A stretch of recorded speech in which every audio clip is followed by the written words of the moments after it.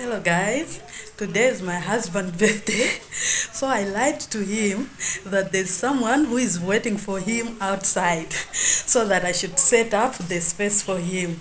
This is what I prepared for him and I just want to surprise him. This is what I prepared for him.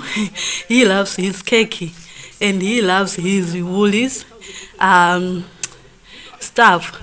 So he's outside at the moment looking for someone who is not even there. I just lied to him that there's someone outside who is waiting for you because I just didn't know how to get him out so that I should surprise him.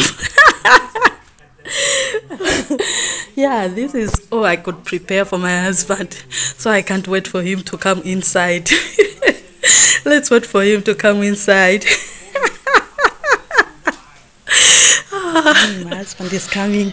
Let's see his reaction. He's coming. He's coming. I'm scared. Annie? Well, you didn't find him? Oh, sorry. That means he's gone. Surprise!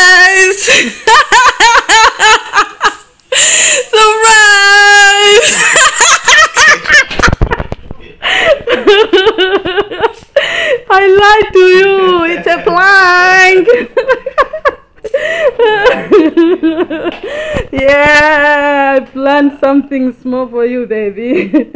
Happy birthday. Happy birthday. didn't see your cake. I just went to buy something small just for you. I know you like your Oreos and your lunch bar, so I just had to make something up. Thank you. You're welcome. and you've been wanting something from Woolies. But you can open this one first. This one.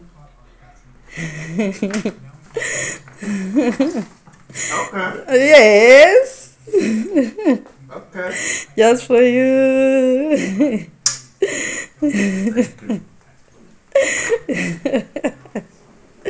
You're welcome, baby. Just for you. What is this? My husband is happy, happy, happy, happy. Yay! Happy birthday to you. Pop the champagne, baby. Oh, so quick! when they say two are better than one, this is what they mean.